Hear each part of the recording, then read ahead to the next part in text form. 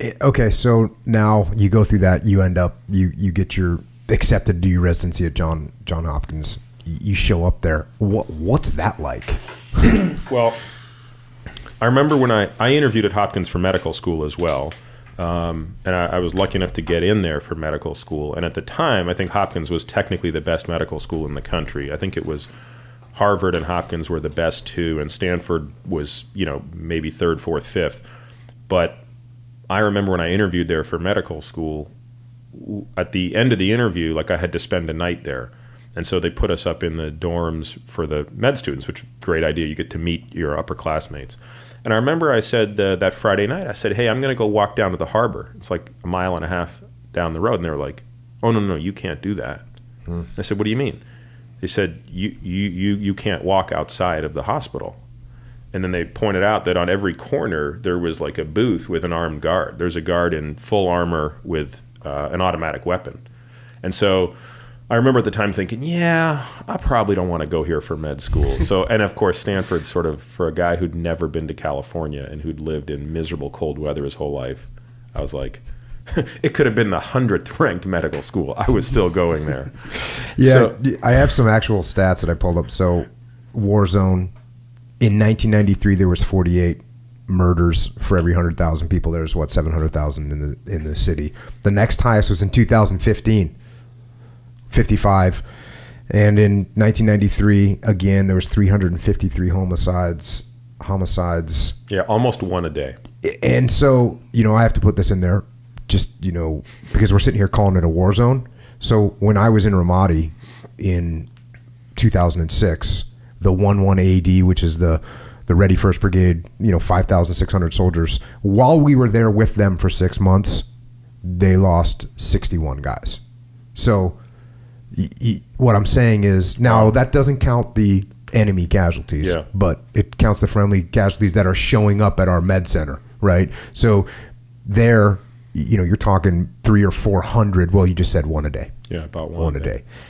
Okay, So Um, so you knew how bad it was when you got. I mean, because you'd already I mean, visited I, it. yeah, I sort of knew it was dangerous, but but I think when I decided that, you know, for this that season of my life, you got to sacrifice everything, and you have to go to the place where you're going to get the best training. And I didn't want to leave California because you know, four years in California for the first time was, you know, I mean, you know, you guys know what it's like. Yeah. I mean, it was like I don't ever want to leave this place.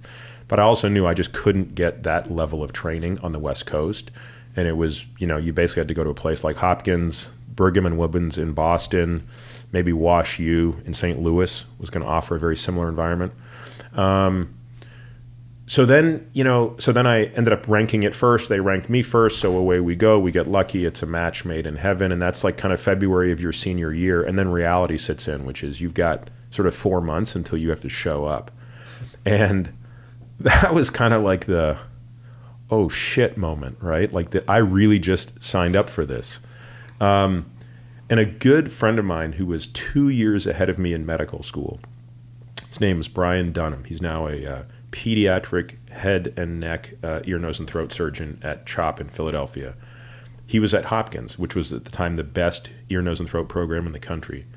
And he actually recommended I read this book, The Corner, because, and Brian's one of these guys who's just, you know, he's just, he's like a renaissance man, you know, like not only is he a great surgeon, he's like a gifted artist. You know, his side job is medical illustration. Like, you can't believe what this guy can do but he's introspective, right? And he was he said, "Look, you know, you're you're going to sign up to be in this war zone and you're going to be taking care of people that it's going to be very easy to despise." So he said, "You need to read this book to gain a sense of their perspective." Um, because very like I said, you know, so so at the time I, I can't remember the stats. I feel like at the time that I was there, we averaged about 16 penetrating traumas a day. Now, to put that in perspective, in general surgery, you're on call every second to every fourth night.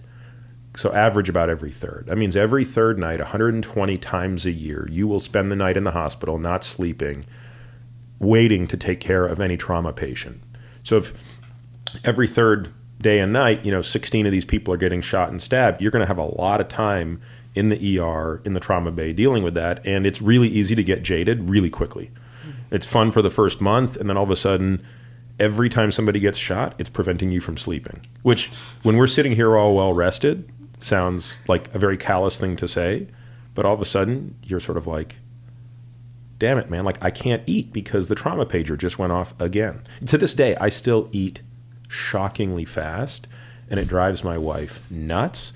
But she doesn't understand. I said, I, I think it's just I'm a victim of you never know when you're going to have to stop what you're doing, and that might be your last meal. Even I shave quickly because the worst thing that could happen is you got shaving cream all over and the trauma pager goes off and you got to run down half shaved. You, know, you got one side of your beard down on the other side. Not. So it's stupid things like that. So, so that was Brian's recommendation. So I got the book immediately, devoured it, found it to be the most depressing thing I had ever It is. read It's heavy. Um, made more depressing by the fact that they pull no punches, no names are changed. So every person you read about, you are reading about it in a completely uncensored, uncensored, unfiltered way.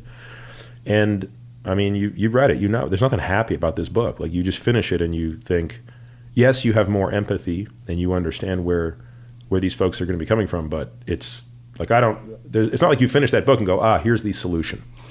We need a six point plan that's going to do X, Y. It's like I don't. Oh, geez. That's kind of why I read that one excerpt. It's like we can't win, which is an awful thought, and that's what that's the impression the book gives you is, is we can't win. And I, I that the the way he phrases it of being like it doesn't matter how many police and whatever you do, you're you're going against human desire. Well, the, the stat that you reiterated, and I remember it very well from when I read this book the first time, was you couldn't take every junkie and put them away. If you took every federal and state prison bed in Maryland, you'd have three people for it if you just you looked at the users. Never mind the guns, the money, and everything that comes with it. So, yeah, that's not a solution.